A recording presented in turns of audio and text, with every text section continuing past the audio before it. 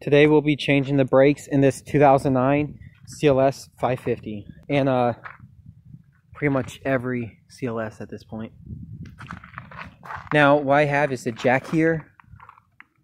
I do have it jacked in. This is on flat ground. I end up using that jack because my house is way up there and it's on a hill. I want to bring my big floor jack. But anyways, the first step I'm going to do is take off this tire with this uh, my tire wrench right here. We're gonna find out what size it is right there. That's it. It's a 17 millimeter. So what I'm gonna do is take off all of these and I'll get back to you. So I do have the wheel off now and for safety I did put this jack underneath here. I don't see if you see it. Just in case my main jack fails. And this is a T30 bit. And what I'm gonna do is just take this out not all the way yet. Because my first step, I sprayed some WD-40. This thing was really stuck. Is I have to reuse the same hardware right here. And with this, I'm going to get a flathead, just like this. And here, well, don't know if you guys see what I'm doing. I will have to reuse this hardware.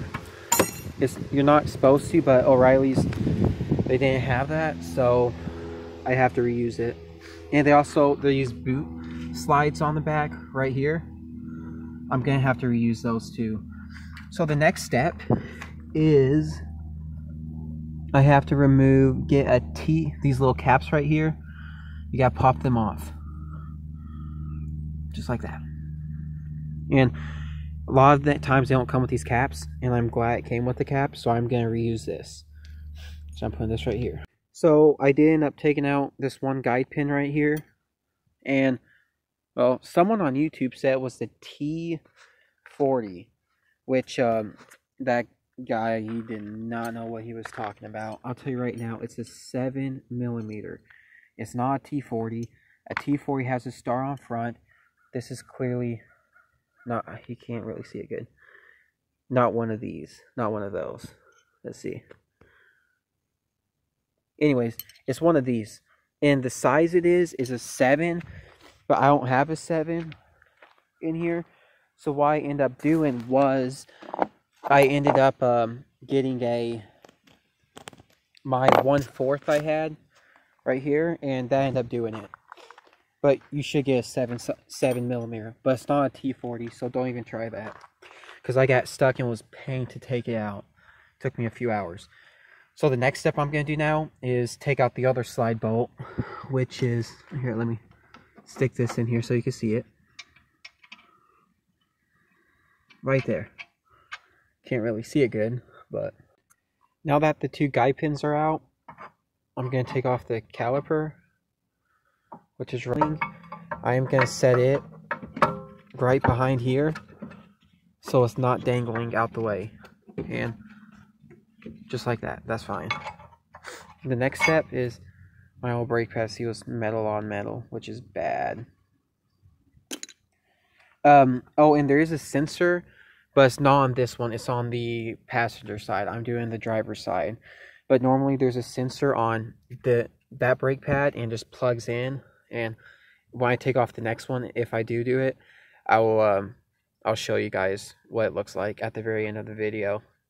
So the next step is I need to take off these two bolts right back here where my finger are on. You guys will see them. Right there. So check this out. These nuts, these 18 millimeter nuts for the bracket were super tight. So I have my wrench on here I got my jack. I'm just doing that. Now these were over tight. Normally you, sh you should be able to get these with the hammer and just hit them off. But for some reason, these are very, very tight. So I just do this all the way until it goes as high as it could go. And I lower it back down and just keep doing until I get loose. Or I could do it by hand like I can on the bottom bracket. But the trick to this is is that the bottom bracket is like I could take out by hand now. I mean by with just my hand on the socket. But what I want to do is loosen up the top bracket so that way when I do get the top bracket out, the bracket won't go won't be moving. So you want both of the nuts still in and you just want to loosen them up, then take them out by hand. Alright guys, I've been hitting at this now for probably 15 minutes. And you see all the dents and stuff I made in it. It's it's coming off now. But show you something. This right here is why you use anti-seize. That right here was just I even sprayed it with WD-40, but that was caked on. But that's the old rotor here.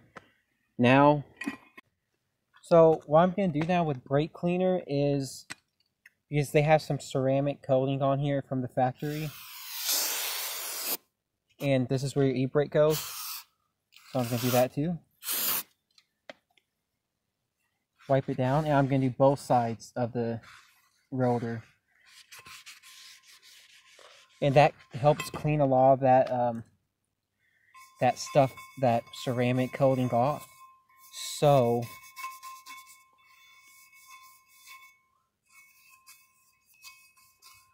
like that. I'm gonna do a lot better cleaning and do a few times over it. Just over and over. And you can kind of feel like when you have all that ceramic stuff off because it feels a lot more gritty.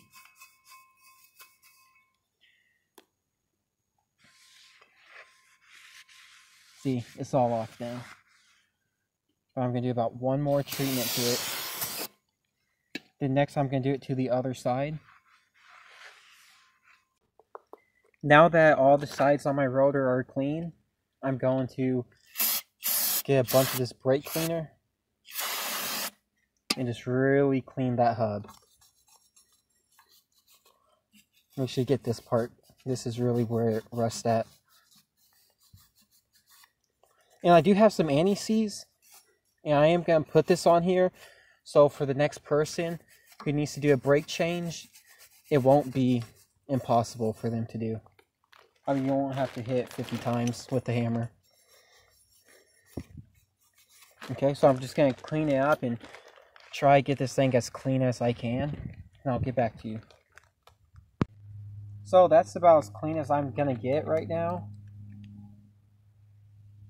Now it's time for the anti-seize.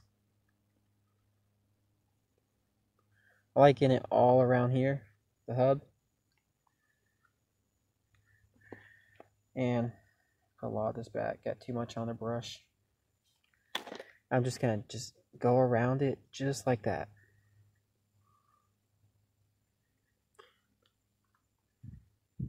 Oh, and this right here is how you adjust your brake if you, right there, that little spur thing, if, if your e-brake's too weak. But mine's fine.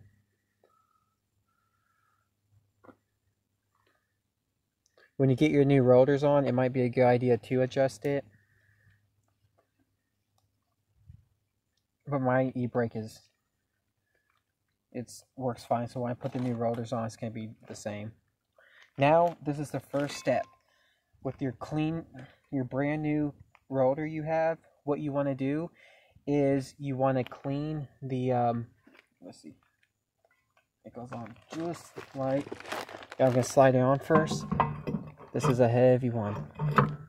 You want to line it up with the hole on, with the holes where you see, just like that. But now, I have to find my, yeah, right there. Because you have to make sure your, um, forget what this is called. The safety, your safety bolt fits on here. Okay. I'm going to screw this on. Then when it's nice and tight, uh, you don't want too tight. This is just for safety. You honestly don't even need it. And it just makes the install a lot easier. See that? Just like that. And you don't want too tight. It's about hand tight right there. Now my next step is I'm going to get the bracket. And same thing with the brake cleaner. Just like I did that, I'm going to just spray it all with it. Let's see if you guys can see here. And I'm going to, when I spray, I'm just going to clean it. Clean the surface very good. I'll just show you guys a snippet of it. Get my wire brush. And this is what your assembly slides on. So you do want to clean up both of these sides really good. Now when these are cleaned up, I'll get back to you. Alright, sorry I did most of this, but I have it nice and cleaned. Oh, and what I did is with this sandpaper, because there's some burrs on this right here, and since this has no hardware, this is the hardware, what I did was I got my sandpaper and I sanded this down a bit so it won't catch on the new brake pads. And on my new brake pads, let me show you one. Right there where it slides in, just like that, in and out, it had a little grip here, so I got some sandpaper and made that smoother. And I got my brake cleaner and cleaned my pads too with it. So now I'm just adding my lubricant on it for brakes. I'm going to add a good bit everywhere on all four sections.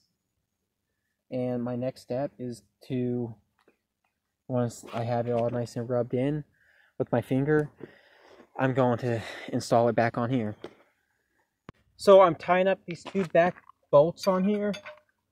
And you don't want them, you don't want to strip them. You want them tight though which that's uh what I'm doing right now. I did have my my big breaker bar for here, but wow, just like that. But it was too long, it won't fit. That's right. Right here. They cut my finger on this too which sucks. But, oh well. So the next step is I'm going to compress that piston. What I do is I had the hood open here, and I opened up the cap right there to the um, the brake fluid. So any back pressure, it won't bust this uh, caliper. It could just push it back. If you do it slow, it honestly it shouldn't happen. It should go without leaking out. So, I do have a brake compressor tool, but to be honest with you, my favorite thing is this big C-clamp because it's it, just like that. I'm to keep compressing it. I'll get back to you when it's compressed. I do want to show you how I have it, just like this, and you want to compress it nice and slow. So I have it compressed all the way. The next step, just like that, and you take out your old brake pad. Now the new one, I already have my grease and stuff on.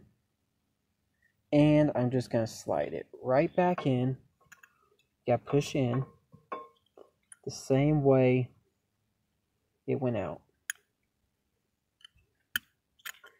Okay, sometimes you might have to push it real good. Oh, and right here, where that hole is on the new brake pad, if you have this sensor, which is on the passenger side in this vehicle, it'll go in this bracket and slide right in that hole, which I don't have the uh, the sensors on the right hand side, not the driver's side. So my next step is to push this in.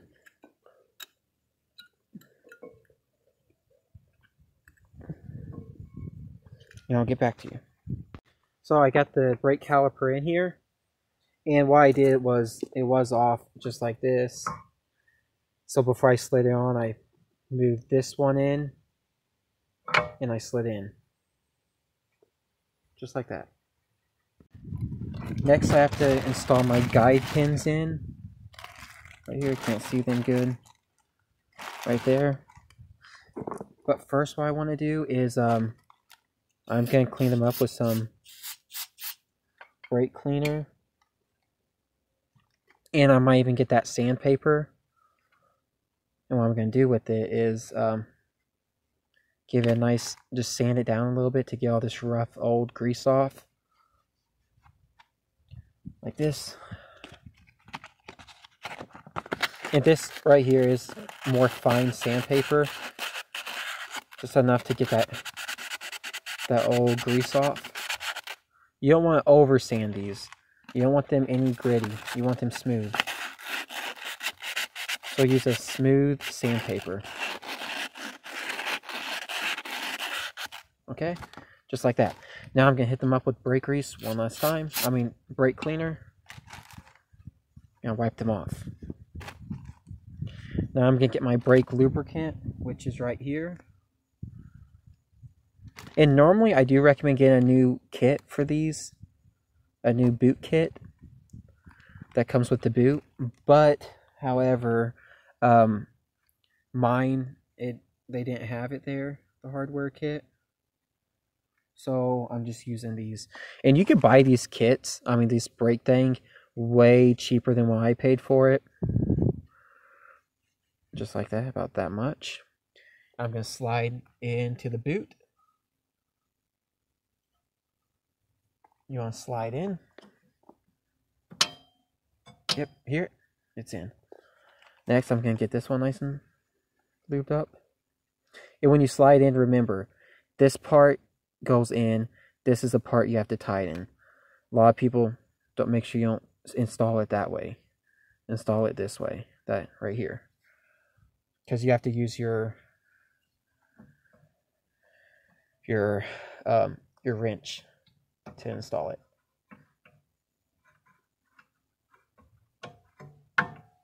Yep, just like that. You hear it.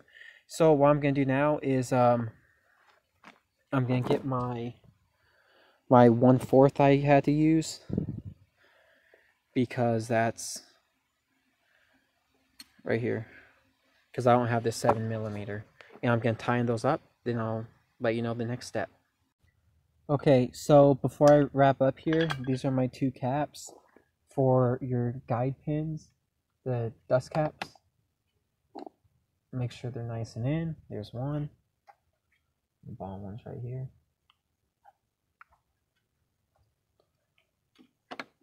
just like that. Nice and tight. Now you do need your tensioner back on, which this is mine. And the way I have this on is, pop this out real quick. I'll show you how I put on right now. Back up the camera. Now you should get a new one, but O'Reilly's didn't have a new one, so I put on just like that. Now this side, I gotta pry this back now I like to get my hammer. Where is it? Just like that. Now get your flathead uh, screwdriver, which mine is right here. And you want to push down, just like that. And make sure it's all on. Everything's on good. Which it is. Now, um, the very last step is obviously I have to throw my tire on and do remember, I do have a bunch of safety here in case it falls down. Three jacks in different location locations. But I do think the tire one is pretty self-explanatory. Now, when you are done with this, I do have to do my other side though. But when you are done with this, make sure you come back here and put your this all the way tight. And before you're done, what you want to do before you drive it, you want to um, pump your brakes a few times so you know these work good. Then when they are all nice and good, you could drive around a, a lap. Right, I mean, neighbors are super loud. Sorry about that.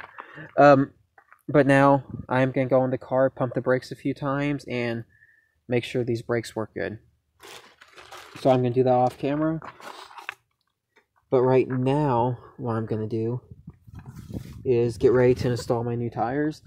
Normally I'll put some anti-seize here so when my, my new tires could come off easy. But as you can see, these tires need to be replaced. I did not know they were this bad. But this is what's bad. That's awful.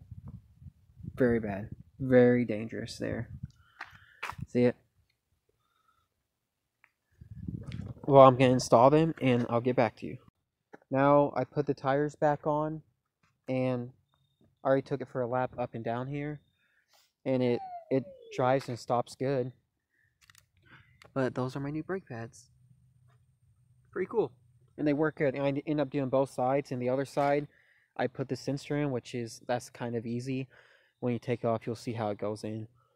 Um, but that's the tires. That's the brakes for you. Thanks for watching.